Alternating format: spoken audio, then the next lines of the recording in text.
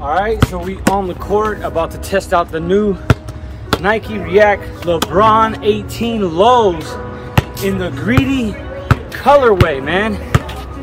Okay, it's been a minute.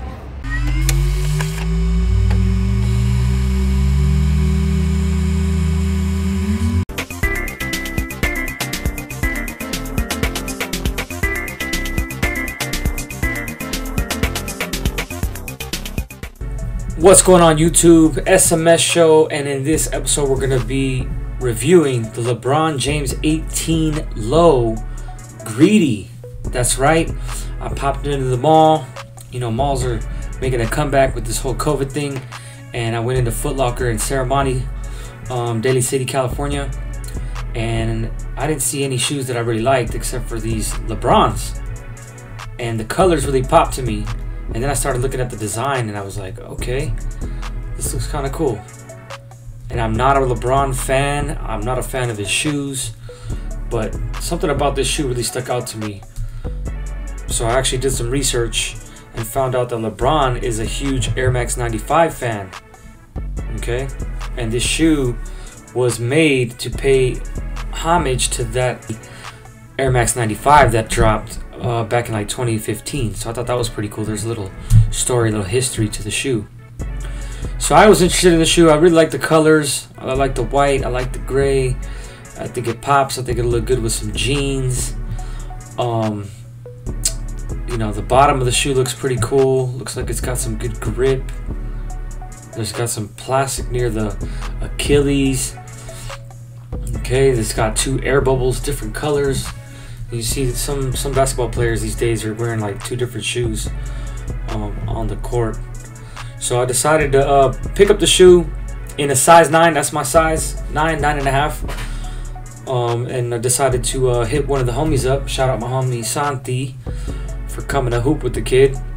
So I'm, I'm gonna try them on and and we're gonna hoop in them, and then uh, kind of let you know what I thought after hooping.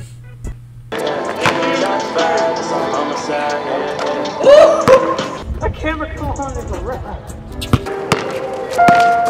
I fucked up so many times with oh, you. You went through what they trying to kill. I won't put my trust in you no more, you gotta feel. Bringing up my case, I had to see it. Kanye, ah, Kanye, Kanye, Kanye, Kanye, ah,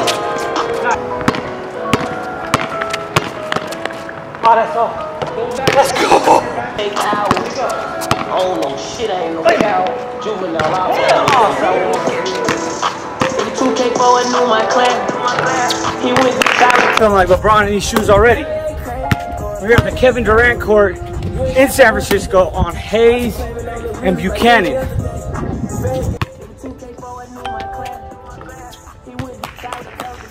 Don't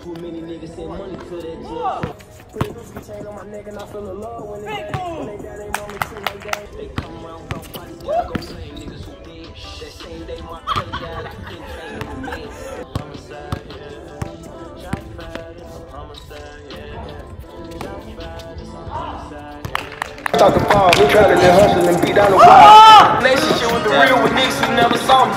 Yeah, relate to them, relate to the pop, you know what I'm saying? Relate to the trenches. All right, so there you have it. The on feet review. My review of the LeBron 18 low. Greedy.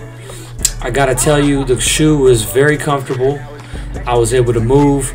I felt like LeBron when I was out there. I kid you not. I felt like I was moving like LeBron. I don't know if it had to do with me knowing it was his shoe or what, but I just felt good hooping in this shoe, to be honest. Um, I guess it did fit a little bit tight. I probably could have did a nine and a half, but um, I thought it, it fit well. Um, it, it, fit well around my ankles. The shoe wasn't heavy because I know a lot of other LeBron shoes are are pretty heavy and big and clunky looking. But um, I'm really excited and, and happy about this purchase. The shoe retailed at $160 so that's a lot cheaper than a lot of other basketball shoes that are out there and it's a Nike I'm a big fan of Nike uh, one of my friends was was kind of hating on the shoes saying that you know Hoopers aren't really messing with the shoe or the LeBron shoe. I disagree. You know, I want to hear what you guys think. I know there's a lot of other shoes out there. There's Adidas, you know, with Dame and Harden rocking Adidas, and supposedly Puma. Uh, hoopers are hooping in Pumas these days with the whole, you know, Melo craze. Um, what do you think? What are what are a hot hooping shoe? I want to know because I went into Foot Locker and I picked these up. I thought they were cool. They they hooped well, and I think they'll look good. Uh, like I said, with some jeans or some shorts. So um, that's kind of my take on this shoe. But what do you think? Post your comments below. Make sure you subscribe to the channel. And uh, thanks for watching. We'll catch you on the next episode.